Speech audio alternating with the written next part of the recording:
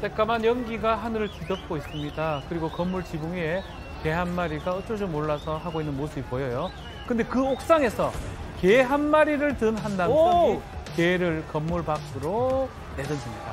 아래 있던 사람들은 남성을 향해서 환호성을 지르고 있고요. 아. 이 남성은 옥상 난간을 넘어서 지붕 위에 있던 개에게 다가가 목덜미를 쥐어 잡고는 또 한 번 아래로 떨어뜨리는 모습을 보여줍니다. 구하는 거죠? 자, 이 남성 어. 화재에 휩싸인 건물에서 홀로 개들을 구조하고 있는 겁니다. 세상에.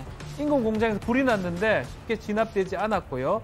바로 이 건물 동물 보호소까지 옮겨 붙어 버린 겁니다. 아. 남성은 창문 유리창까지 깨서 창문에 발을 디뎌서 올라가서 가장자리에 위태롭게 앉아 있는 개도 구조를 했고요. 아이고야. 건물 아래에서는 구조 대원들이 개들을 안전하게 받아줬습니다.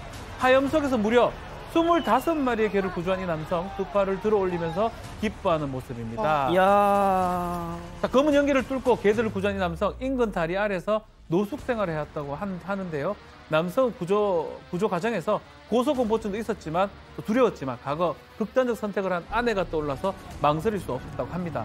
노숙자에서 영웅이 된 남성 다시 일자리를 구할 것이라고 전했습니다.